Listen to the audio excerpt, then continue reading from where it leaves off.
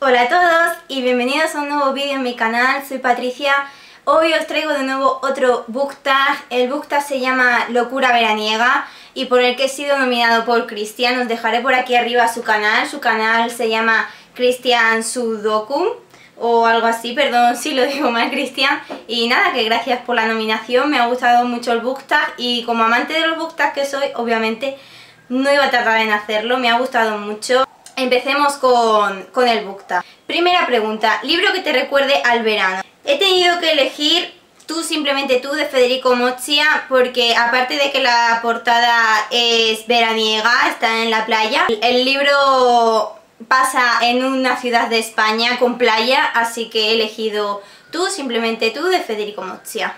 Segunda pregunta, lugar de ficción en el que te gustaría pasar el verano. Para esto he elegido el, el, campamento mestizo de Percy Jackson. ¿A quién no le gustaría pasar el verano y la vida entera en el campamento mestizo? Sería lo más maravilloso del mundo y aparte Percy Jackson es una de mis sagas favoritas así que... y nunca la menciono porque los tengo en el ebook pero digo porque no enseño el ebook así que quiero pasar el verano en el campamento mestizo de Percy Jackson la tercera pregunta es, un libro que te dure todo el vuelo. Yo he decidido coger un libro que me dure tanto en un vuelo corto, aunque no lo termine, tanto como en un vuelo largo, mmm, tampoco a lo mejor ni lo terminaría, que es Canción de Hielo y Fuego, eh, Tormenta de Espada de George R. R. Martin. Y en fin, tiene exactamente 1153 páginas y aparte la letra es minúscula, no sé si lo terminaría, en un vuelo largo, así que sin duda me llevaría este y me daría para mucho juego. La siguiente pregunta, te entra un bajón veraniego, ¿qué libro eliges para animarte un poco? Esta pregunta yo siempre que me pasa eso en verano acabo leyendo no solo un libro, me leo mi saga favorita entera, que es Harry Potter, en este caso he cogido la piedra filosofal, pero siempre que en verano me estanco, no sé qué hacer, estoy como... ¿qué hago? Me leo Harry Potter porque me alegra la vida. Así que, Harry Potter. Siguiente pregunta. ¿Estás solo en la playa? Elige un personaje para tener un romance veraniego.